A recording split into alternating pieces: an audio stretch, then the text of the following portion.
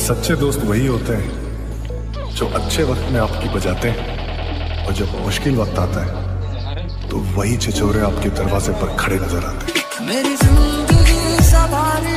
मुझको गले लगा के बैठा दिया फलक पे मुझे खाक से उठा के धड़कन ये कहती है दिल तेरे बिन धड़के